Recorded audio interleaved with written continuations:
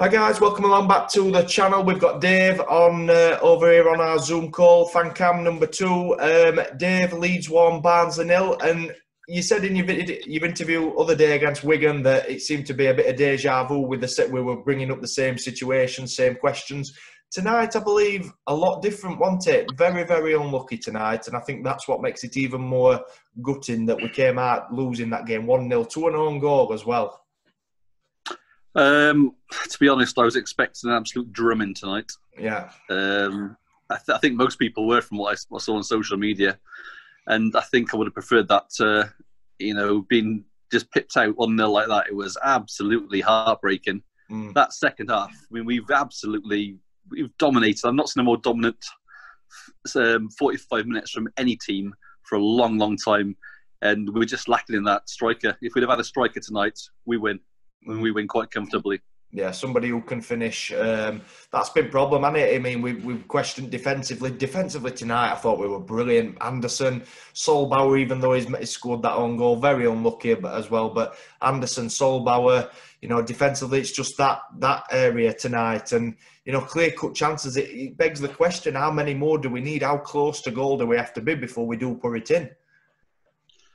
Well, like you said about the defence, um, there was a few things in the first half. Um, Andersen, I think he made a he made a mistake. Then he, he he got back and put out for a corner. I think it was. Mm. Um, apart from that, it's been it's been pretty solid. I still don't know why he's playing Jordan Williams at left back. He's out of position. Mm. Um, what Clark has done to not justify being started or only getting ten minutes tonight, I don't know. But mm. the defence has been you know pretty solid. Um, second half they weren't needed, were they? I mean, it was mm. it was all it was all Barnsley second half. Yeah, and um, yeah, it's just it's just us. We just we have that possession. Uh, I looked at the stats today on on Sky Sports, and you know we're in the top four in possession. I think it was possession, um, passes in the final third, attempts on goal, twenty fourth in conversion rate, and it that says it all. Yeah. It, it, we have we haven't got a striker. Jacob Brown. He's not a striker. He's not a hmm. striker. Woodrow's missed some good chances tonight. He's obviously very long confidence, like we said after the, after the Luton game. And Chaplin's trying his hardest. He's had that one shot that's just clipped the post. But we need someone. We need someone. We need. Um, I don't want to say his name, but um, that guy that went to Sheffield Wednesday a couple of years ago. We need that sort of player in the box that could just finish. Mm. We haven't got that, and it's it's restrict our season. Mm. I 100 percent agree. I mean, even like when Thomas came on, I thought, God, I've never never seen much a more frustrating player than him. But that that the ball he could have played in towards um, Chaplin, I believe that that could have been a chance. I, I, think he got stuck in two minds, didn't know whether to shoot or pass it. Styles' chance as well. I mean, Echo's chance has done it, and like you said, we, we're missing that natural goal scorer who can put in not not even you know, clear cut chances, half chances, and, and and put them in as well. That's what we're missing. Yeah, I mean, it, Thomas has had a, he's, he's had a lot of game time, is he? And the, you know these. I think you need to find a decent team that can play together and gel, and we've not mm. found that. At the back, we found it. And the, mm. you know, the defensive work, work together. We've had a solid defense now for the last you know, last four or five games, and they've they've played together over these last four or five games. They've gelled together, mm. but he's, he's, he's still tinkering around in midfield and you know just pushing forward a little bit, and there just seems to be no communication there. And the passing, it's you know the, the, the, player passes it, and the other player's not on the same wavelength as him. He doesn't run for the ball; he just stays where he is, or it's it's overhit and. It's, it's, he's, he's done wonders with defence. I'm going to give him that. I'm mm. going to give Struber that. He's done wonders with defence, but apart from that, there's just there's there's there's no there's no connectivity between the players. To me, it's there's, there's no communication. There's no leadership. There's no one telling people get over there, run over here, do this, do that. It's just go where you want, so to speak.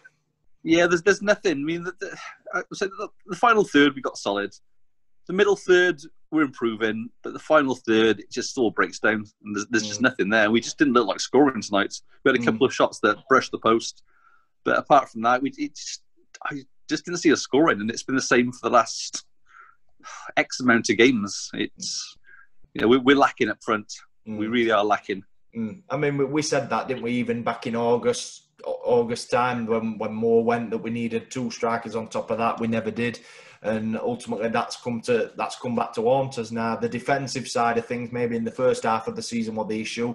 We rectified that now, and now what's coming back to haunt us is the lack of probably strikers to come off the bench as well. Not just like said when Woodrow's not really hitting the heights like he has done. You know, he'd have probably come out if we'd have had somebody good half decent enough to, to come on, but there just hasn't been. That's why he's had to start. I was quite um, I was quite concerned at the start of the season when Kieffer Moore was still with us because he's had quite a few seasons in the championship and he's never sort of like hit the heights and got the goals that he mm. probably should have done. And it was a little bit of a concern to me. And then obviously when he went to Wigan, it was even more of a concern. Yeah. Um, we've not had Cauley Woodrow play in the championship, so I know he was on loan at Bristol City a couple of seasons ago, and um, one of my friends said to me, he said he's a trier. He's a Tom Bradshaw sort of player. He's a trier, but he's just not championship quality. Mm. And at the start of, start of this season, he, you know, he's, he's knocked in a few goals. And I thought, well, he's, he's, he's, he's proved a few people wrong, but he's just gone off the boil and he's just, you know, was it mm. nine games without a goal now, is it? Something like, and like you say, you'd, you'd have to go back to March time for him. Uh, he's had he's had half chances for us though. I mean tonight maybe not necessarily as much. So much chance have felt at wrong place tonight once again, and that, that has done it few games. But uh, uh, last one before we go then, David. Do you think Leeds and Bielsa will know that how that they were in a game tonight that we didn't just roll over like we all expected us to do? Oh, absolutely. I've spoken. I've got quite a few Leeds fans on my Facebook, and mm. I've spoken to them tonight and I've seen other Leeds fans on social media, and they're all, you know, glad that the game ended when it did because, you know, according to uh, to them, they're the, they're the best, we're the best opposition they've had this season. Mm. And I know we hear that quite regularly. We're the best team played against, yeah, but, and they're lucky to get results against us. But yeah, they definitely do know, and they. And I've not seen one Leeds fan tonight that said "ha ha" or you know "you're shit" or going down they had full respect for us tonight. And he saw Bielsa's reaction after the final. He went across to Struber and he had a few words in his ear. He's been, he's been very respectful there, mm. and I'm I'm very I'm very happy for for Leeds. They deserve to. It's been a long time coming back to the, the Premier League, and I think this this season they really deserve it. And Bielsa is a good manager, and I got a lot of respect for him. Mm. All right then, Dave. Well, thanks for coming on, mate, and I will speak to you um, over social media. I'm sure I will. So. Uh, all right then, guys. Well, that was Dave. Thank you for watching, and we'll see you in the next one. You Reds.